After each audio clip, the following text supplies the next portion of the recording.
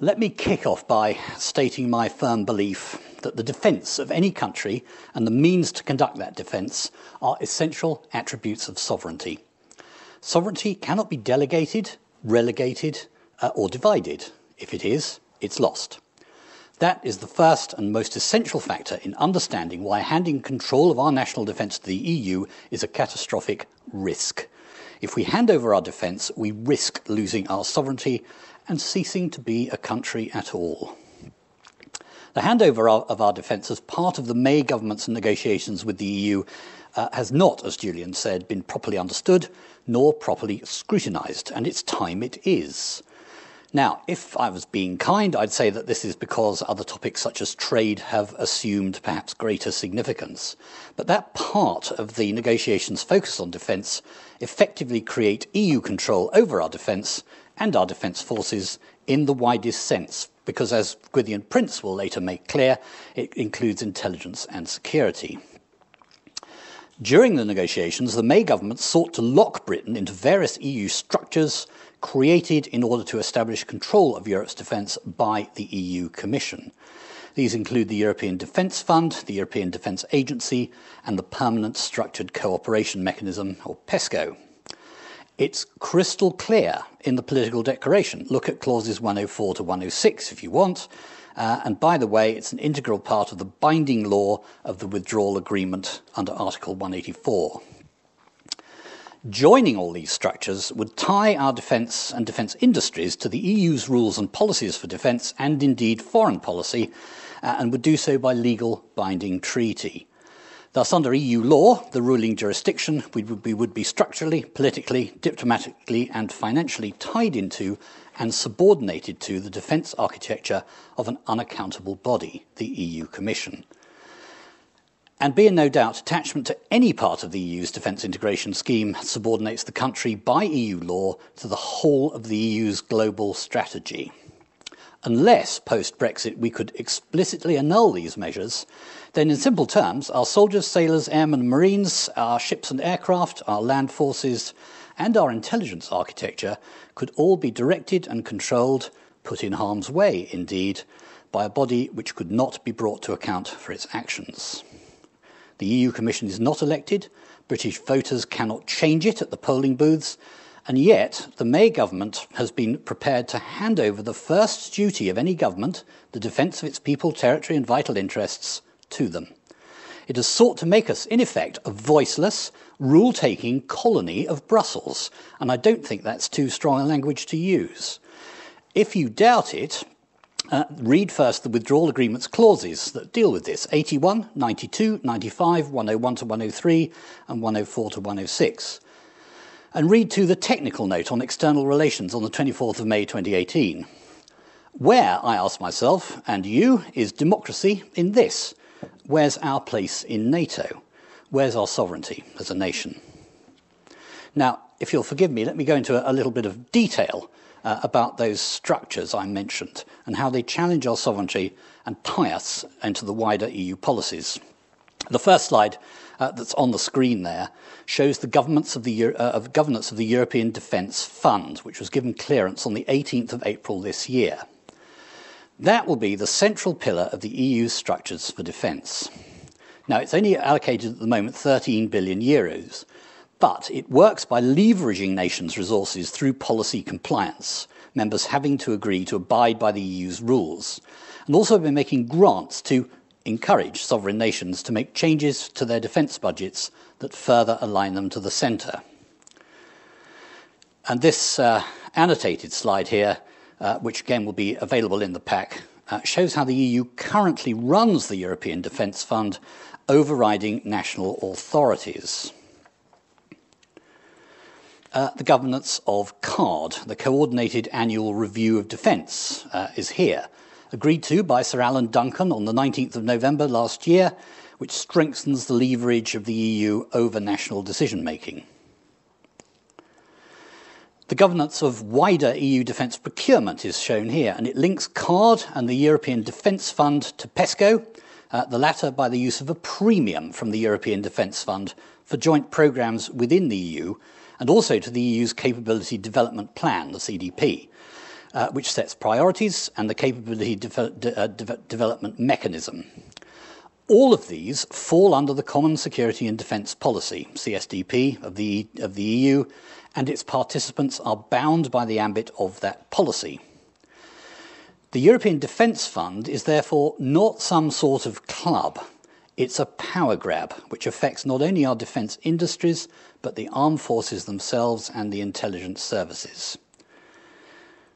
If you doubt uh, the linkages between CARD and the EDF and PESCO as part of the uh, Common Security and Defence Policy, this chap doesn't. Everything is linked to everything else. Uh, and the EU has given itself multiple levels of, defen- of influence over defence and security. The Common Security and Defence Policy at the top, the European Defence Agency, the European Development Fund, the Coordinated Annual Review of Defence, the Capability Development Plan, the Capability Development Mechanism, and PESCO. If you uh, have a look at that slide, you can see that these levels of control are shown as pillars, ironically ranged against partnership with NATO, with NATO and the UN. And together, together, they build the EU's global defence and security policy as put into effect through the European Defence Union. The political declaration on the current exit arrangements contains commitments to the three major parts of the EU defence procurement structure. Uh, this slide uh, shows how the political de- declaration links us in uh, to those pillars that I showed you earlier. Uh, page 196 of the withdrawal agreement, we should note, uh, includes the concept of replacing the Lisbon Treaty uh, and its commitments to the common uh, foreign and security policy, uh, including the common security and defence policy, uh, with a new agreement. If we agree to and join these structures, then the political declaration is the legal glue that ties us in. Under paragraph four, uh, sorry, page four, uh, the parties agree that the UK's participation in defence internal action is, and I quote, subject to the conditions laid out in the corresponding EU instruments, unquote. Committing Britain to the framework of the EU rules uh, means that everything is linked to everything else. Furthermore, the political declaration underscores uh, this whole commitment of the UK to structures of the, ED, uh, the European Defence Union uh, because it says that the UK, UK, agrees to participate, and I quote, to the extent possible under EU law. And as we can see, that extent is very far reaching, as it includes the full scope of the common security and defence policy. This is therefore all about how an unaccountable body, as I said earlier, seizes control of the budgets and resources of sovereign member states. Thus, the real power in these structures is not just how much money they are themselves allocated from EU funds, probably as much as 38 billion euros in the next three year budget cycle, but how much they can leverage and by what means. It must surely be a matter of serious concern that our civil service just doesn't seem to understand how dangerous these mechanisms are. Uh, perhaps in some cases uh, they are fully aware, uh, perhaps they're committed to them. That in itself is alarming. But far more alarming is the fact that moves towards tying Britain into EU defence have not received any sort of proper scrutiny from elected members of Parliament. This may be the busiest time in Parliament for many a year, but the EU and our future relationship with it is the driving issue of the day. And to ignore or conceal the importance of defence in that relationship cannot pass unchallenged.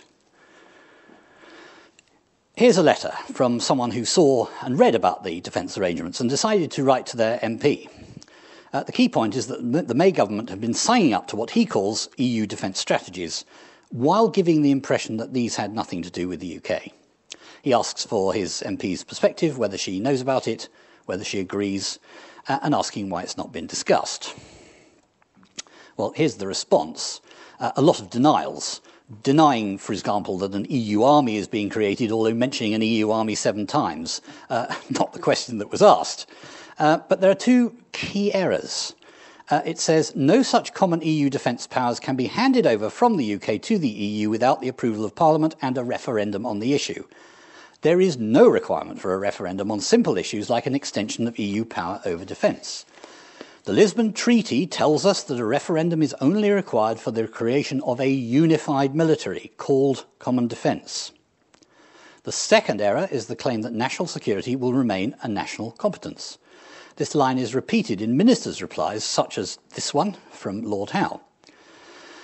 The EU Commission's own list of competencies states quite clearly that the EU has power or competence to implement a common foreign and security policy, which includes a common defence policy. Uh, our own MOD's Director General of Strategy, Angus Lapsley, is on record backing this view and saying that, and uh, as I quote, defence is no longer a member state preserve in the EU. Uh, Mr. Molinar, uh, one of the uh, advisors to Federica Mogherini, the EU's high rep on foreign and security issues, stated that, and I quote, if member states research and develop military equipment together, if we use it together and move it together, and all this is in support of EU instruments, then you can say that we have a defence union.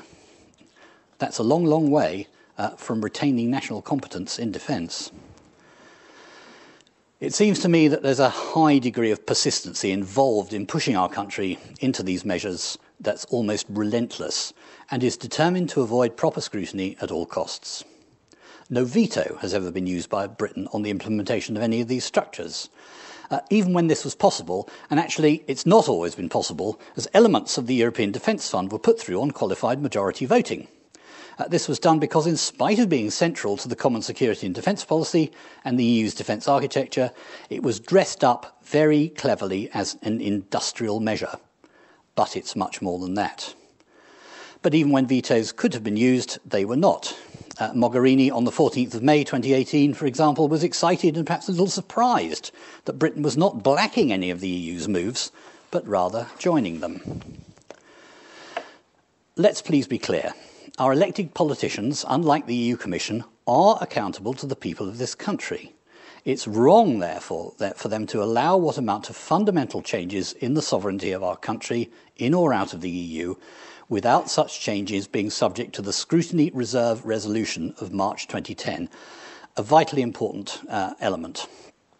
This resolution clearly states that, and I quote, the government has given an undertaking that ministers will not agree to draft EU policies or laws that have been deposited in Parliament until the committees of both houses have completed their scrutiny work. That undertaking has clearly been breached, and Parliament has been given no measures of redress for that breach. Its effects are therefore with us. It smells to me, ladies and gentlemen, of a stitch up, a stitch up of the highest order, stealthy, dangerous, and downright wrong. Well, what can we, you, here today do about that? First, awareness. Ensure that members of Parliament are aware that they have missed the scale of uh, events and the breach of their duties and powers. Secondly, alternatives. Uh, my friend and colleague, uh, Professor Gwythian Prins, uh, along with Sir Richard Dearlove and Field Marshal Lord Guthrie, wrote an alternative a draft treaty between the UK and the EU for defence, security and intelligence cooperation consequent upon our departure from the EU. They published it on the 29th of March this year, and it's founded on cooperation, not integration. And third, action. Please tell everyone you can about what's being done to us and our security. Uh, this event is part of that, uh, but lobby your MPs, and if you are an MP, uh, demand proper scrutiny. Lobby the MOD too. Uh, as Julian said, the materials on the VFB website in a folder with today's date, uh, but we'll also be putting out the message through social media. Uh, with a few questions in Parliament, uh, like that one, uh, we can push the requirement for pro proper scrutiny. Uh, we can also prevent those defence and security measures being once again quietly wrapped into trade or industrial deals and thus stripping our defence authority and autonomy uh, under the radar, even if we leave on, on, on WTO terms. Uh, that's enough from me, and I want to hand you over now uh, to the Admiral.